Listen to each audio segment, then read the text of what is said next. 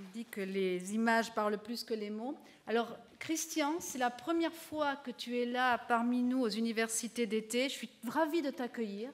Et euh, je ne dis pas plus parce qu'on sait tous que tu es un spécialiste du prix du CO2, un des premiers paradoxes, donc je te laisse la parole. Merci beaucoup Myriam. Oui. L'année dernière, je m'étais trompé d'université, hein, ça, peut arriver. Bon, euh, écoutez, moi je ne vais pas y aller par euh, quatre chemins. Je pense que euh, lorsqu'en 1992, les 190 pays de l'époque se réunissaient pour signer la Convention sur les changements climatiques, à l'époque, on n'avait qu'une vision très vague des solutions Idem en 1997 lorsqu'on discutait le protocole de Kyoto. La grande différence avec Paris, c'est qu'aujourd'hui, on a un éventail croissant de solutions qui sont portées par les villes. Et je ne vais pas refaire le, discours un peu euh, de, promotion que vous avez fait, mais on sait bien que La Rochelle, mais beaucoup d'autres, sont des, circonscriptions où on a développé déjà des solutions qui vont croissantes. On sait bien que, euh, en partie grâce à, l'action euh, de, Myriam, mais de beaucoup d'autres, des progrès et des modèles économiques se créent basés sur non plus l'accroissement des consommations, mais sur la rationalisation et sur l'économie d'énergie, l'efficacité. On sait que dans le domaine technologique, on a des ruptures absolument fantastiques. Le croisement de la révolution du numérique, enfin de la digitalisation plus exactement, avec euh, l'énergie renouvelable et le photovoltaïque, crée des opportunités qu'on n'imaginait même pas il y a encore cinq ans. Et pourtant, il y a un domaine sur lequel euh, on n'avance pas du tout, ou, du moins très mal, c'est le prix du carbone. Prix du carbone, en deux mots, euh, qu'est-ce que c'est que le prix du carbone? Parce que j'ai encore parfois des gens qui me disent, mais alors c'est quoi ton métier Toi, tu, tu, donnes de la valeur à l'air, hein, tu, vends de l'air. Bon, prix du carbone, hein, c'est tout simplement mettre dans les coûts de production une évaluation des dommages climatiques. De même que si on veut mettre, par exemple, le bon prix au diesel, eh bien, il faut mettre dans le prix du litre de, diesel le coût des nuisances sanitaires. Pour, le prix du carbone, c'est ça, ça, que je veux dire. Et donc ça concerne le CO2, mais aussi les autres gaz à effet de serre. Depuis que euh, les économistes réfléchissent sur euh, les questions climatiques, ils sont à peu près d'accord sur une chose, hein. c'est rare. Notez, ils sont à peu près d'accord sur une chose, c'est que si on veut résoudre la question climatique, il faut changer les prix. On n'a pas les bons prix, et il faut mettre dans les prix le coût des dommages climatiques. Après, comment il faut faire, ça, ils sont plus tout d'accord entre eux, et je ne vais surtout pas vous embêter avec ces querelles de ce compteur. Mais moi, ce que je constate en tant qu'observateur, c'est que euh, malgré ce consensus très fort, qui est aujourd'hui revéhiculé par des tas de gens, euh, la, directrice du FMI, l'OCDE, et même Madame Royal, qui a fini par se convertir au prix du carbone, ce qui était pour le moins inattendu, eh bien, euh, on, ne progresse pas dans la réalité. Un exemple, en août 2005, huit mois après le démarrage du système européen des quotas de CO2, le marché européen du carbone affichait un prix de 28 euros la tonne de CO2. Onze ans après, en août 2016, le prix du carbone affiche un prix moyen, je ne connais pas encore les cours des derniers jours, de 4,7 euros la tonne de CO2. Ça veut dire que, je ne vais pas prendre les, détails, euh, ça veut dire que les Européens ont renoncé à mettre en place une tarification ambitieuse du carbone. Et c'est dramatique parce que l'Europe a été longtemps considérée comme étant le lieu qui euh, était vraiment euh, à la pointe du, combat. Alors, je vais me poser une question toute simple avec vous. Évidemment, moi je suis économiste, donc j'ai un petit biais. Finalement, docteur, est-ce que c'est grave? Est-ce qu'on a besoin d'un prix du carbone?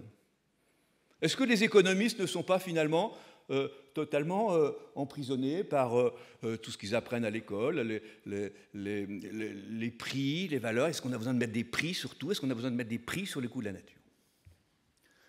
Alors je voudrais peut-être réfléchir avec vous en prenant trois exemples concrets que j'ai déjà cités en, introduction pour vous faire réfléchir un peu à cette question. Est-ce qu'on a vraiment besoin d'un prix du carbone? Premier point, les innovations technologiques et la chute des coûts des euh, renouvelables et notamment la chute des coûts des solaires qui, avec les progrès du stockage, vont en partie régler les questions d'intermittence. Euh, est-ce qu'on euh, a besoin d'un prix du carbone pour refaire la bascule entre le, les, énergies renouvelables qui deviennent naturellement compétitives et les prix des fossiles? Oui. On a besoin parce que la transition énergétique qu'il nous faut conduire, Myriam l'a rappelé, c'est une transition qui est incroyablement conditionnée par le temps. On est en 2016 déjà à plus de 1 degré de réchauffement moyen. Plus de 1.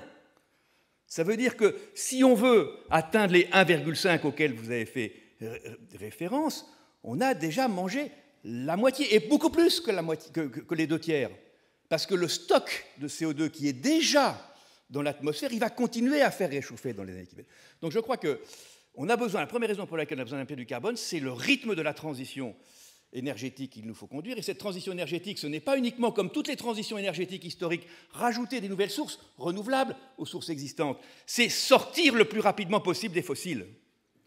Et aujourd'hui, dans le monde tel qu'il est, pas le monde tel qu'on rêverait qu'il soit, quelle est la seule façon de sortir vite des fossiles C'est de mettre un coût additionnel au coût des tractions, au coût des fossiles, en mettant le coût du dommage climatique qui sont gérés par les fossiles. Et je pense que c'est une condition absolument essentielle pour avoir une transition énergétique dans laquelle on est engagé, mais une transition énergétique qui est au rythme requis pour respecter les objectifs climatiques. Deuxième point, les économies d'énergie, l'efficacité énergétique. Et là, je rentre dans le précaré de, Myriam et de cette université. Bien évidemment, la meilleure façon de réduire les émissions de gaz à effet de serre, c'est de ne pas utiliser l'énergie en réduisant les gaspillages. Mais est-ce qu'on a euh, uniquement euh, cette arme, est-ce que cette arme unique suffit à euh, respecter les contraintes de la transition climatique? Eh bien, à nouveau, je pense qu'il faut se poser la question des bons prix. Et un économiste très célèbre qui s'appelle Jevons, dès la fin du XIXe siècle, décrit un effet qui s'appelle l'effet rebond. L'effet rebond, et Jevons le décrit de la telle façon au XIXe siècle, il dit, chaque, il s'adresse à des ingénieurs. Il dit, voyez, vous imaginez parce que vous accroissez incroyablement la productivité de, euh, de la transformation énergétique dans la manufacture, vous allez économiser le charbon. C'est l'inverse. Parce que les gains d'efficacité que vous faites font baisser les prix et ça va accroître les quantités que vous allez consommer. Donc je crois que la bonne façon pour coupler l'efficacité énergétique avec la transition bas carbone, c'est effectivement là aussi d'avoir un signal prix important qui va nous prémunir contre les effets rebonds. Et en tant qu'économiste, toutes les observations que nous faisons sur le long terme nous montrent que les biens sur lesquels on fait les plus d'économies sont les biens qui ont un coût. Et ceci est vrai pour l'industrie comme pour les ménages, même si pour les ménages, ça peut euh, parfois s'apparaître avec long terme. Troisième point, j'ai été très sensible à ce que vous avez dit, euh, Monsieur Fontaine, je crois. Euh, je ne sais pas comment on prononce l'examen. Fontaine. Fontaine, alors voilà. euh, J'étais très sensible à ce que vous avez dit sur. C'est bien gentil d'aller euh, de, de, sur les renouvelables, mais, je fais quoi? C'est quoi les choix que je dois faire? C'est quoi, quoi, les choix qu'on qu va devoir faire effectivement pour euh, générer cette croissance bas carbone? Quels sont les indicateurs qu'il faut prendre en compte pour ces choix? Si vous êtes dans le secteur privé, là, il n'y a pas de souci. L'indicateur, il est connu dans l'économie marchande, c'est la rentabilité. Donc si vous n'avez pas le coût des dommages climatiques dans la rentabilité, vous pouvez faire toutes les grandes déclarations euh, d'investissement socialement responsable que vous voulez. Si vous n'avez pas les bons prix, si vous faites des investissements qui ne correspondent pas aux bons prix, vous allez tout simplement être sorti du marché. Et lorsqu'on est sur des programmes de territoire, on voit bien qu'aujourd'hui, la dynamique des territoires est extrêmement importante. Pourquoi est-ce que cette dynamique est extrêmement importante? Parce qu'elle permet d'aller beaucoup plus loin en mettant en relation et en réseau des euh, acteurs qui, euh, souvent du reste, ont la plus grande difficulté à travailler ensemble, mais qui apportent chacun euh, des, des, visions différentes. Eh bien, pour cette économie d'innovation des territoires, je pense que l'une des conditions pour faire les bons choix, c'est d'avoir les bons prix. que ces prix soient des prix qui s'expriment sur le marché, ou que si on est sur des choix d'investissement public, on mette effectivement dans les prix, euh, dans, les décisions d'investissement qu'on fait, des coûts associés aux euh, dommages climatiques, associés aux pollutions, etc.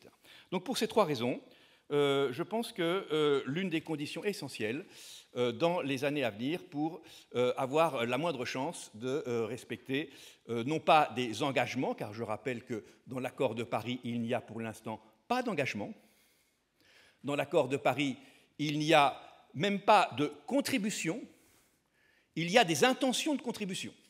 C'est ça qu'il faut bien voir.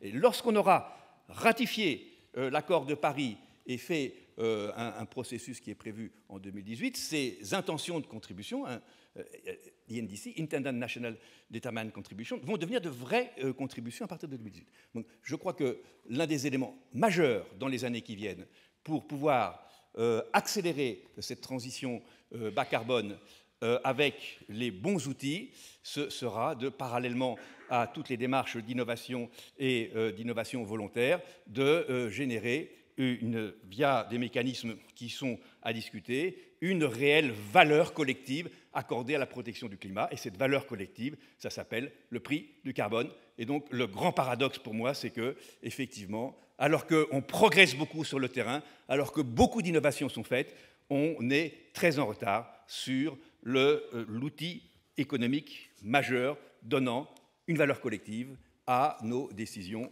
qu'elles se situent au niveau des territoires, des entreprises ou des États. Merci de votre attention.